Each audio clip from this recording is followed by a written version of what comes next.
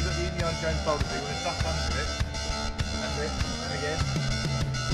Okay, now, now it's a bit of product placement. So you want to hold it up. Cheese. I'm going to do